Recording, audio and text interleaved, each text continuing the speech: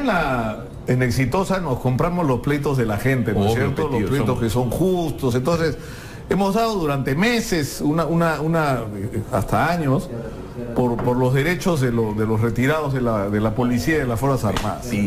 Entonces han venido nuestros amigos que están por acá, que no- no- nos invitaron el otro día a una, a una pequeña recepción. Y el problema es que estábamos convulsos. chambeando, se estaba derrumbando todo y nosotros estábamos acá. Entonces yo, yo les pediría que, que pasen adelante, por favor. Que porque pasen, quieren, son- quieren, ex- quieren hacer un agradecimiento. Son coroneles, se y quieren hacérselo a la radio, a ti, a mí, a Pepe Rocha, ¿no?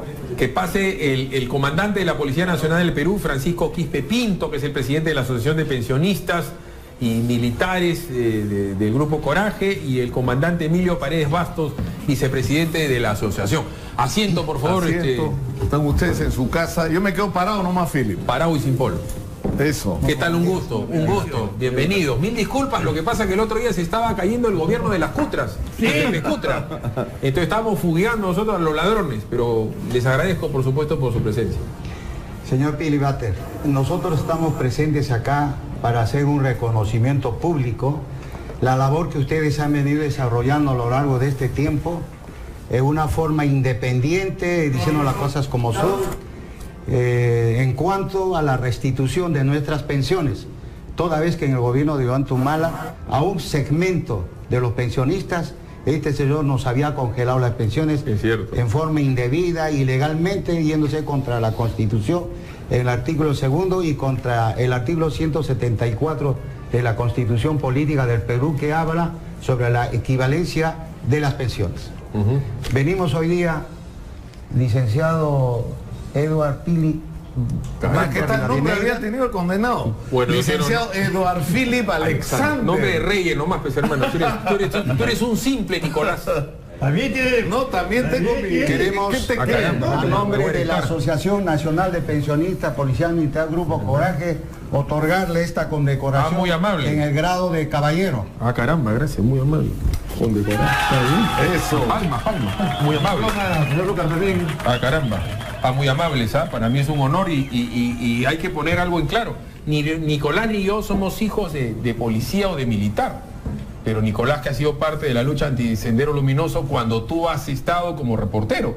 Tú también te la jugabas con ellos, ¿no es cierto? Cuando nosotros estamos en nuestra hemos- casa. he, he sido testigos, creo todos, y lamentablemente somos muy malagradecidos con gente a la que le debemos mucho, ¿no es cierto? No solo por nuestra seguridad cotidiana, sino por, por el tema que tú has tocado, Philip, el, el terrorismo. Y no, no debemos ser malagradecidos y no podemos permitir que los policías y militares tengan que estar peleando por tener una jubilación eh, pues, de sobrevivencia, ¿no? O sea, eso simplemente estas discusiones ni deberíamos tenerlas. Es una ni deberíamos tenerlas, es decir, pero, pero acá estamos, estamos para eso. De igual manera, señor periodista Jorge Arturo Nicolás Lucas de la Portilla, ¿Qué le cosa hacemos cree? ¿Qué cosa Jorge cree, Marta? la Que Arturo. de la condecoración No sé si me pasa por en la el grado de caballero de la Asociación Nacional Anaponil Grupo Coraje.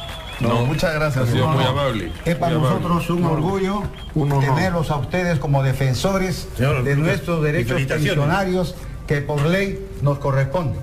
Solamente hemos pedido que se respete nuestra ley, porque como le dije anteriormente, ya habían cometido con nosotros una discriminación Correcto. terrible. Bueno, que nos esté escuchando entonces al señor eh, presidente Martín Vizcarra y al futuro ministro de Economía. Lo, lo voy a hablar, usted sabe que hablo muy bien francés. Dejen de joder a los retirados de la policía. O sea, ellos son los que ganaron. Y Sendero Luminoso sigue saliendo y van a seguir atacando y van a volver a atacar el Perú. Y estos señores, algunos viejitos y muchos de sus hijos que están en actividad van a volver a pelear por nosotros. Así que yo soy, al contrario, nosotros dos creo que les agradecemos a ellos. Nicolás. No, por supuesto. Quisiera pedirles un segundo, si me permite.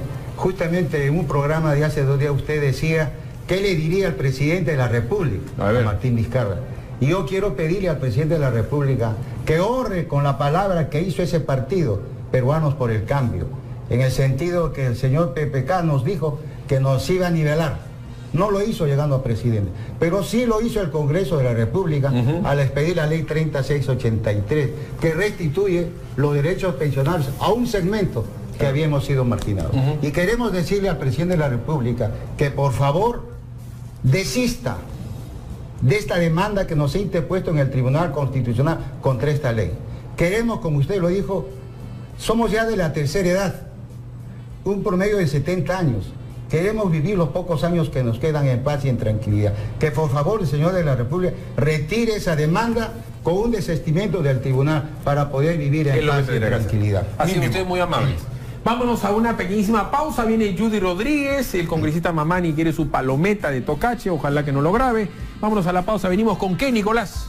Venimos, bueno, está la, ministra, están de salida los ministros, ¿no? Hoy día tenemos dos, dos ministros. Tenemos a, la ministra Choquehuanca y tenemos también ahí del Wexler, ¿no?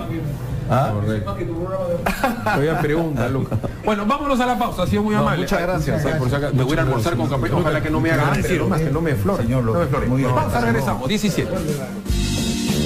Hemos presentado